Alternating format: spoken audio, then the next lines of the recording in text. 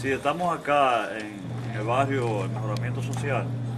eh, en un programa que tiene la sindicatura de control de plagas, insectos, eh, a nivel de, cada comunidad. Y aquí atendiendo eh, la solicitud de, la Junta de Vecinos, que nos hicieron esa solicitud, el, el alcalde William Torres envió a hacer el control, donde hay cuatro fumigadores, entre ayer y hoy se va a hacer en la mayor parte de la vivienda de aquí. Todo el que lo, desee eh, se le hace para el control de mosquitos, cucarachas, hormigas, ratas y todas esas alimañas que le hacen daño a la salud de la persona. Eh, le hacemos un llamado a toda la comunidad de la Junta de Vecinos que cuando tengan alguna, alguna inquietud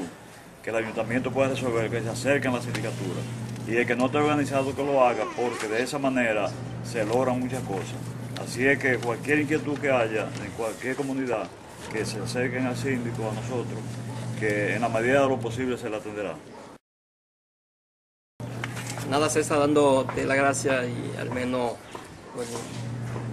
diríamos atender nuestro llamado para que así en verdad las cosas que se están haciendo también salgan a la luz pública y sean de mejor utilidad para la comunidad. Nosotros estamos pidiendo también a todos los vecinos que nos abran la puerta para poder hacer el trabajo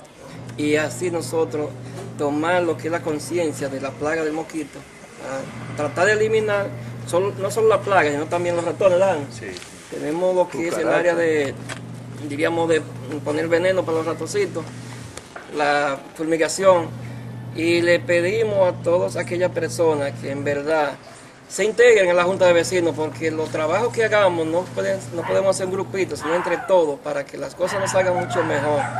También le hagamos un llamado a César, a la demás Junta de Vecinos, que el viernes, el sábado, perdón, a las 4 de la tarde tenemos un encuentro en nuestro sector,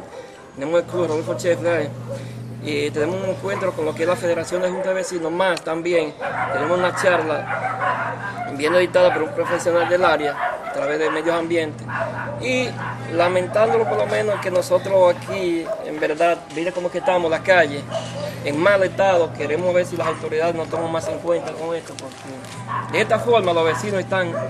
incómodos, por lo menos el tránsito para poder eh, accesar a su casa y también lo que es las condiciones. En verdad lo que necesitamos es acondicionamiento y asfaltado por esta área para que así los vecinos vivan más adecuadamente. Gracias. Ya burada beş lira.